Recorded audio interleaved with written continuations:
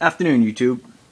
So today I'm going to be talking about a new product I just purchased, and there's a lot of uh, information on the web about this device.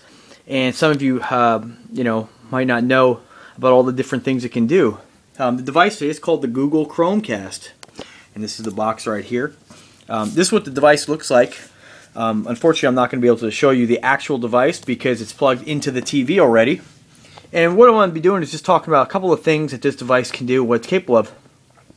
Um, basically, for those of you who don't know, um, it's about the size of a, that's almost actual size there. It's about the size of a USB um, drive, you know, a standard size one, maybe a little larger. And what this is, this is basically a little device that connects to the web, the website, or to the, excuse me, to the, your Wi-Fi network, and allows you to use your device, such as an iPad mini, or any Android or iOS operating system device, and also your computer, but I'll talk to you a little bit more about that in a bit.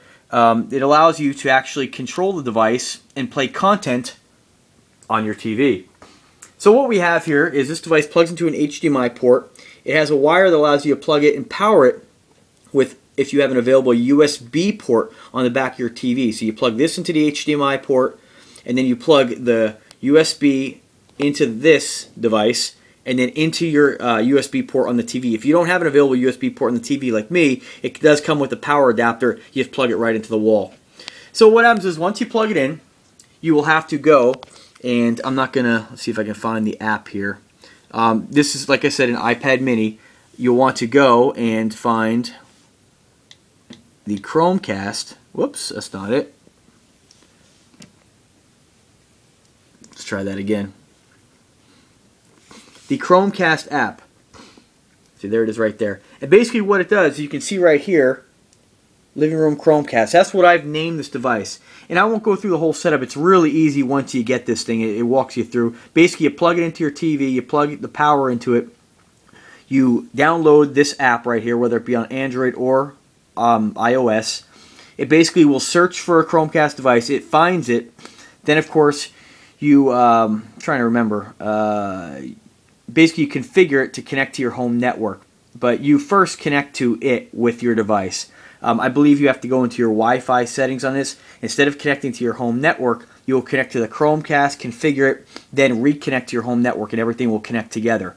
So basically, once it's connected, this is this app only allows you to actually make any kind of changes, like name the Chromecast and the Wi-Fi connection. It doesn't really do anything else besides that. So if you get this device, you plug it in, you go through the process. Don't think that you're something's wrong here if you can't like use these right here. I believe if you click them, it'll open up the app.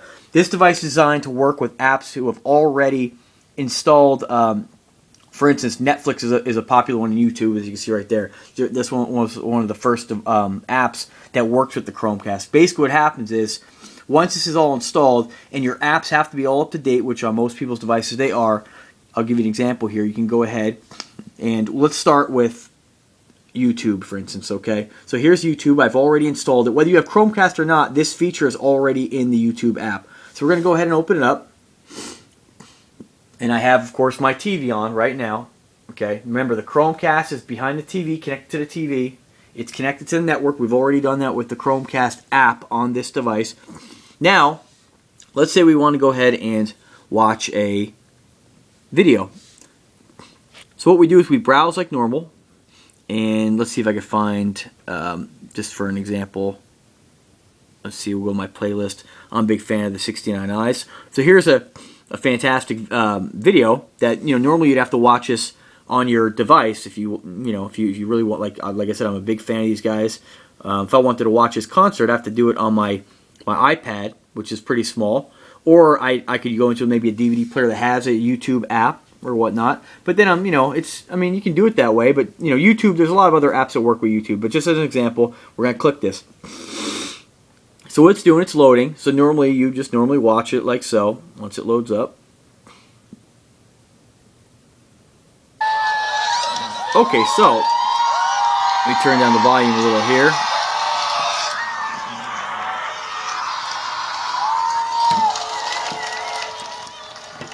Okay, so what you do now is, like I said, all these Any YouTube video that you go to right now using YouTube app will have this little icon right up in the top here. See that little one right here? Looks like a little TV, a little Wi-Fi signal next to it. You're gonna click that. Sorry about my, my video footage here. You click that, now it's gonna bring up any available Chromecast that you have. There's mine, Living Room Chromecast. Gonna go ahead and click that. And what it's gonna do, it just basically communicated with the Chromecast in the back of the TV where to find that content on the web. Now, it's gonna play it. Watch as it loads up. So there you have it. Now we're playing here. I have it hooked up to my receiver and all that stuff, you know, like most people. So there you go. So now anything you can get on the internet, on YouTube, you can watch right on your TV without having to drag out any kind of wires, use another device or, you know, know like a DVD player or use a little, little tiny remote that came with the DVD player. It's a pain in the butt. Um, this is really easy. The nice thing about this too is you're not using your resources of your device when using the Chromecast. All you're doing is using this as a remote control. All you've done is told your Chromecast what you want to watch and it found the content. It's using its own resources to stream this, not your device. So now you can go ahead, go back to doing what you're doing on something else. You want to get on Facebook or do whatever, you can do that. So that's one really neat feature. There's a lot of content on YouTube, as most people know, and uh, it's really great to be able to watch it now on your on your TV. If you want to go back and say, "Oh, well, shoot, I want to pause this," you pause it like normal, and it'll pause on the TV. You want to play it again, you play it. Oops. There we go. Also, a lot of the features that you normally would use on this also work with the Chromecast, um, like Advance, of course. Um, it's kind of neat too if you're having like your buddies or or something you want to have like a store your get your playlist uploaded on YouTube with all kinds of songs, stream it to your Chromecast. It's playing in the background. It's a pretty fantastic device. So that's just one of the app uh, the apps that is what I call Chromecast compatible. And as time goes on, there's going to be more and more apps that become available. So that's a big one. Okay, so let's say we're tired of this. Another really great app, of course, is the Netflix app, which works the same way. And I'm not going to go ahead and pull that up. It's the exact same process. You open up your Netflix, you choose the movie you want, you stream it to this first, then you go ahead and hit that little icon, that little TV with the what looks like a little Wi-Fi signal. Press that, it'll play on your TV. Now, another really great app that this thing has, which is one of the main reasons why I got it, and one of the main reasons why I'm going to get another Chromecast for my bedroom, and probably another one for my office, is what's called Google Play Music. And there it is right there. And what this is, is this is an app that you download to either iOS. They just came out with it last month, I believe, for um, for iOS. It was um, Android before that. And I used it before the Chromecast. What it does is allows you to download the Google uh, Play Music app to your computer, program to your computer. Okay, and I'm going to take you on a little trip here. So let's go ahead and check that out. So my computer is upstairs in my office. So we're gonna run up here. All right, I'm not gonna show you around because my home. So, so here we go. So here's my desktop in my office upstairs. This is what the little app looks like, or excuse me, the program once you download it. And what you do, I opened it up. You install it. You choose what folder you want to monitor.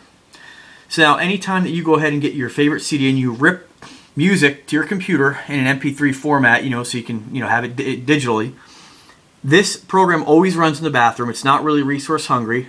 Again, I am running a, a, a uh, quad-core 8 gig RAM computer here. Uh, I haven't tested this, this program on a slower computer, but most people have fast computers now anyways. So anyway, this thing monitors. I chose full albums because I didn't want to have a bunch of kind of mix match songs anywhere. I wanted just just my my best stuff, full albums that I actually own and ripped. And what happens is, anytime that I rip a new CD, this program, as long as I put it within full albums, this program knows what's in that actual album. And what it does, it sort of syncs it. And it uploads automatically in the background to Google Play. And so we'll go there right now, and I'll show you what it looks like. You just type in Google, whoops, Google Play. Now Google Play does a lot of things too. You can buy music from them. They have the books but this is the Google Play website, basically where you get a lot of your all your Android apps from. Um, so here we go, and then we got music. we click My Music. Is, now I'm on my computer, remember. So, whoops, click My, my Music. And this is going to pull up every song or every album that I have uploaded using the you know using that the program that runs in the background. If it loads here, I think I might have to reboot here. Whoops. Okay, there we go. So it's loading music library. This is where you can go in. You can delete music if you you know uh, you find you don't want to keep it uploaded anymore. Um, what this does is Google Play gives you on a free account 20,000 songs of your own you can upload. And what it does is it keeps your music, a copy of your music, securely in the cloud and allows you to use any Google Music app on Android or iOS. This thing ever loads. Let's go back. It's running a little slow. I have a pretty slow internet connection. Uh, the faster your connection, the better you're off. I unfortunately have CenturyLink. So anyway, you get the idea. It'll load up. It'll show every album, every song that I've uploaded, and I didn't have to do it. It automatically does it. Now, if you have a big collection, it might take you a week or so. Just let it do its thing. You'll be happy you did once it's all there in the cloud. So that's great. You can use your iPod. You can use your Samsung tablet to as a Walkman, and uh, or you know I, I have Wi-Fi. I don't have a cell phone. But uh, if you did have a cell phone and you have an unlimited data plan, now all your music is in the cloud. You can stream it whenever you want it using the Google app. So what we're going to do now, we're going to go back downstairs. Now I've already had that thing upload all my music over several weeks. And so let's go downstairs. So again, the Google Play, I used it a lot around the house. If I'm out in the garage, I would plug my iPod, use the app, stream my music into the garage through the stereo in there, and I always have it with me. Or if I'm at my folks' house, I want to play some music, plug it right in, you're good to go. Now, what I really liked about this, I had a problem, whereas I wanted to have my stereo down here be able to not only listen to, you know, um, my CDs that I have down here in my changer, but I wanted my full collection. Now, my computer's upstairs, so sure I could get another computer down here. I can do the same thing, plug my iPod into it, but I, want, I wanted something a little more easier that I could just sit back in the living room and pick the song I want, just like you do on your computer, and listen to what I want when I want. So that's a great thing about this Google Chromecast. They've integrated the Google Play Store. So let's go ahead and open up the Google Music so you can see what it looks like. So you'll see it's loading my library. Let's do this first because I think we're... Oh, nah, let's try it. Again, my connection's a little slow, so um, because we're already streaming a video, see YouTube is still playing on the Chromecast, it just takes a little bit to load. Okay, so here we go. It's loaded. The only problem with this app is you, you gotta use it in the uh, the portrait portrait mode. So again, this is what the app looks like. These are it automatically, for the most part, picks the uh, album cover of the of the music you upload it's not perfect. You can go in there and change them if it's made a mistake. It's pretty time consuming if you've had, you know, a lot of, like I have a lot of music uploaded here. I have a lot of CDs I purchased over the years. Um, so, anyway, just for an example, you know, these are a couple that have loaded correctly. Uh, most of them will, but some of them won't. And if it bothers you, you can go in there. But what we're going to do now, if I want to listen to this song right here, or this album, let's go ahead and hit Pink Floyd, okay? So we're just going to pick a song, Speak to Me. What it's going to do, it's going to stream that music from Google Play, because I've uploaded it.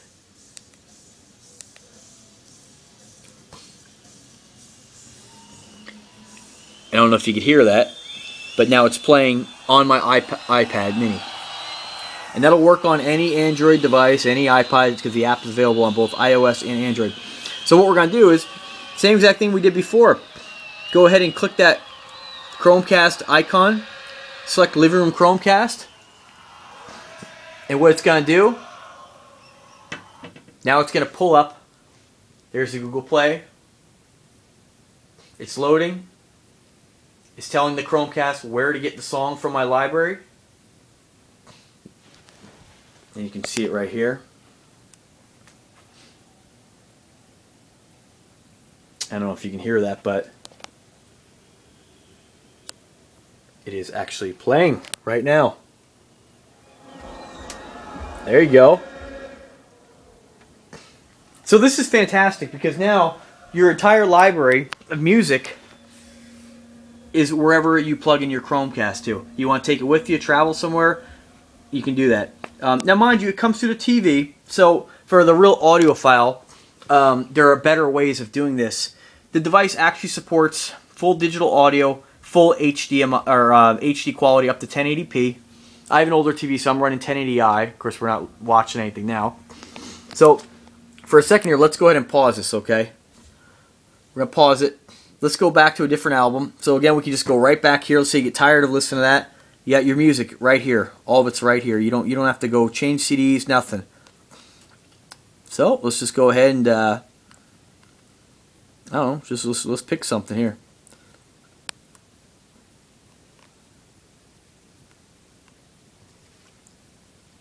There we go. So there it is loading again. Loading a different song. There you go, playing. So there is a slight delay on mine because as far as when you select it and when it actually plays because like I said I'm running a pretty uh, a 1.5 uh, megabytes a second internet. It's pretty slow in today's day and age. But you know the thing is, when you're actually playing a whole album, it'll play seamlessly. Like there won't be any delay. It won't have to say, it won't have to show it's reloading or anything like that.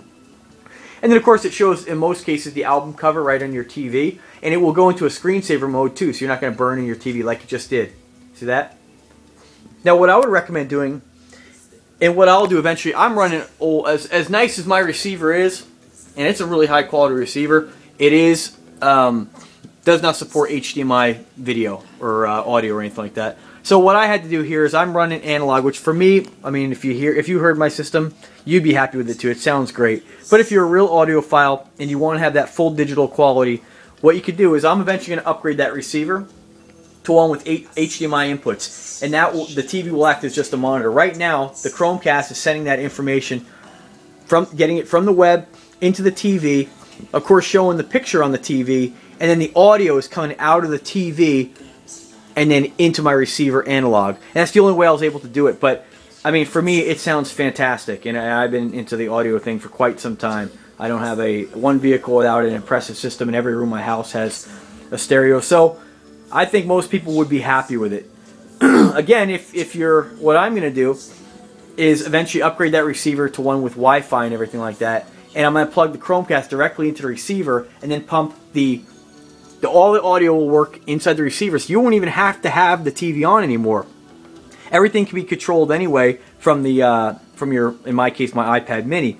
So with that plugged into the receiver, you'll leave the TV off. The audio will be in the receiver already. You won't need the TV unless you actually want to watch what's going on, you know, a movie through Netflix or YouTube, or you want to watch the album cover like this in a song title, which I kind of like to do. Um, but it'll allow you to actually use this without actually having the TV on.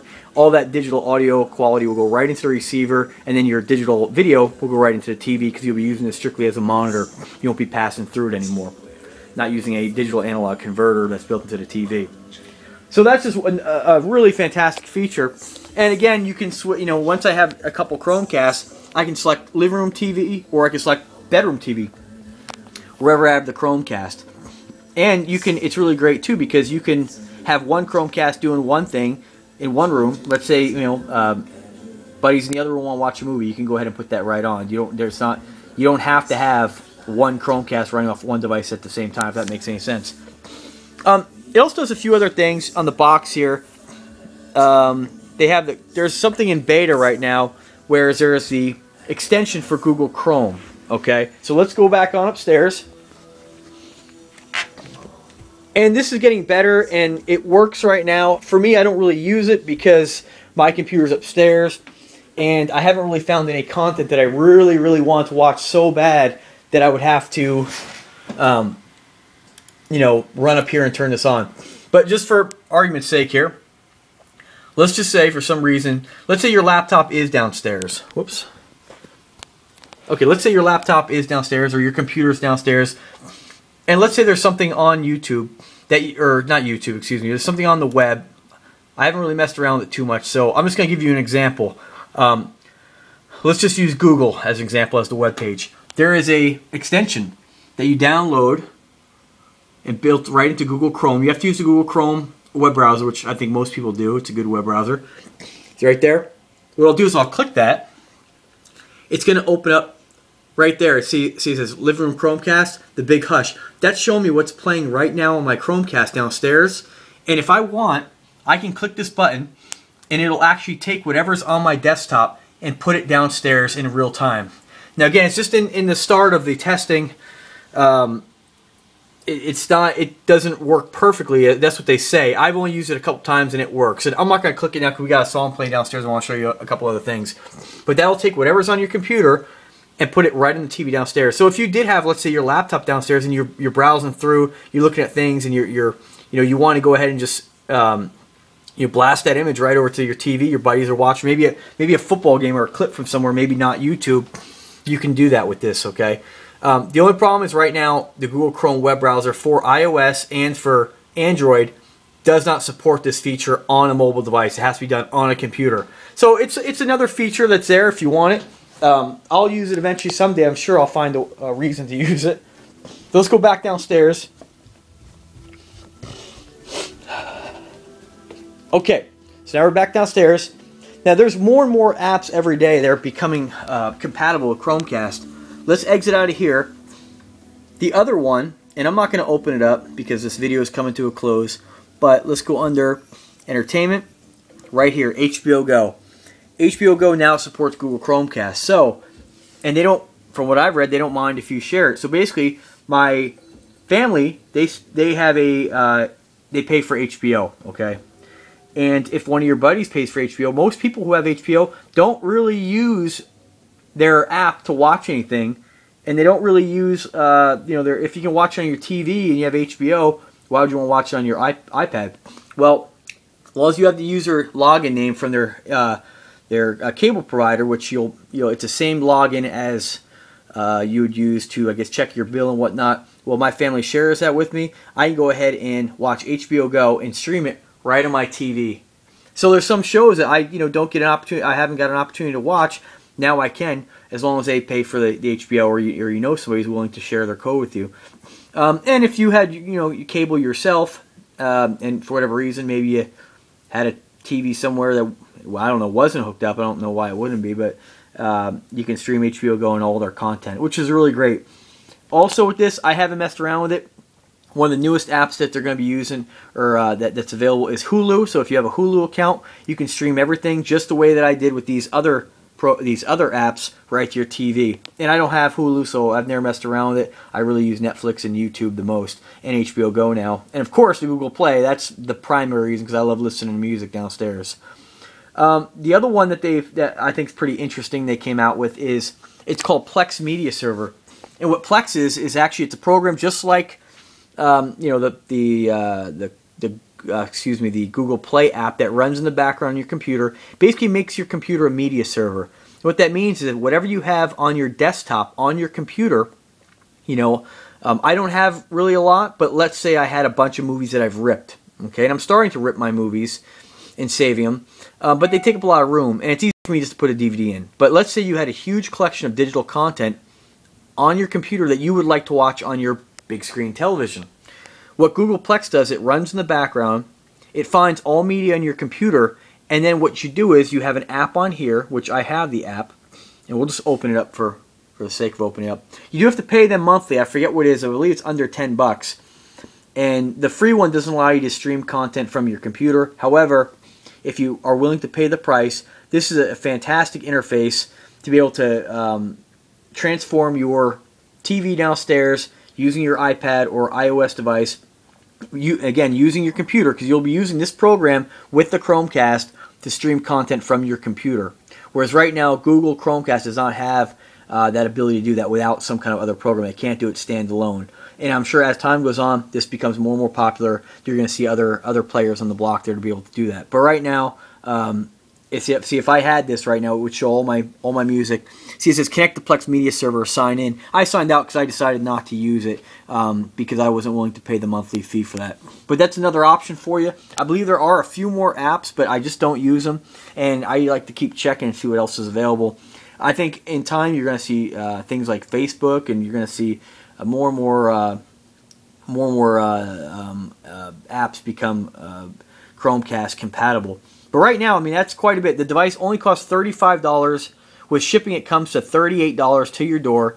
and it's fantastic. I mean, it allows you to, to bring whatever content you want uh, right to your TV. And let's face it, most people have Netflix. Most most people use YouTube, and the Google Play is a big one. I don't think that that's a real feature that most people really know about, or these things would probably be flying off the shelf even more than they already are. Uh, Google Play, upload your music. It's protected in the cloud. You can download it if you ever have a computer crash. I mean, it would take you a couple weeks, of course, if you have a lot, but you can download your music back to your computer, and it's safe. And it's a really easy way to bring your entire library wherever you go, especially if you have you know a cell uh, if you have a cellular plan with unlimited data, you can stream that wherever you go. The other neat thing is that in my cars I have a uh, uh, head units in the cars that actually have Bluetooth. And again, I don't have a cell phone right now, but once I eventually do get one with a with a, a data plan, I'll be able to take that phone, uh, connect it to my stereo via Bluetooth, and then stream my whole collection with me wherever I go in my car. So that's a really a really fa fantastic feature. Google Play again, most people don't really know about it. I've never met anybody who many of my friends know about it. I'm sure you know it's kind of the same thing. So I would check it out if you get one of these. Definitely use that. Um, it's a fantastic feature. So that's my review of the Chromecast. It is, in my opinion, one of the best devices that, that has come out in quite some time. Uh, it's amazing how technology has changed so much over the last 10 years. I remember uh, using AOL dial-up and thinking how wonderful it was. And, and then when I discovered my first iPod Touch, I couldn't believe that it would connect to Wi-Fi. I mean, and just you can check your mail. It's it's it's a, it really is an amazing time. But uh, yeah, I don't really have too much else to say about the Chromecast. I think I, I got everything. Um, if you have any questions about anything, I mean, it's pretty self-explanatory in the setup if you get one. But if you do have any kind of questions, I'll be more than happy to, to try to help you out and answer them for you. Um, that's my video. Um, email me or, or, post on my site there to tell me if you what you think, or again if you have any questions. Um, sorry to fumble. I'm not a professional here. All right. Have a good day.